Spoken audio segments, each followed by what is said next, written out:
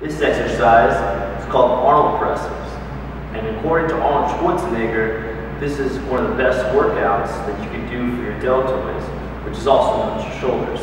And Arnold presses work specifically your front shoulder and your middle shoulder. And it's executed like this.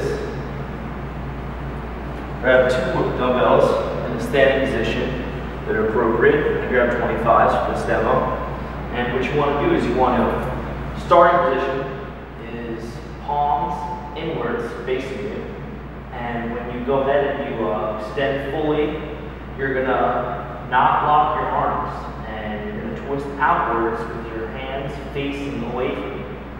So we're going to go ahead and do another one. So you rotate them in on the way down, so your you know, palms are facing you. And on the way up, slowly rotate outward, but do not fully lock your arms. Okay, so we're to go back down, rotating inwards, palms facing you. Okay, now we're to push up again, rotating your hands outward so your palms are facing away. You're to go back down again. And this works both heads, front and middle. So, one more time. Starting position is palms facing you. You're to push up, rotate outwards slowly on the way up.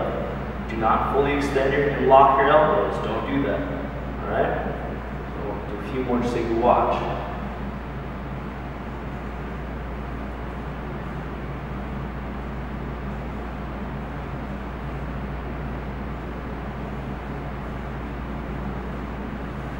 Those are called Arnold presses.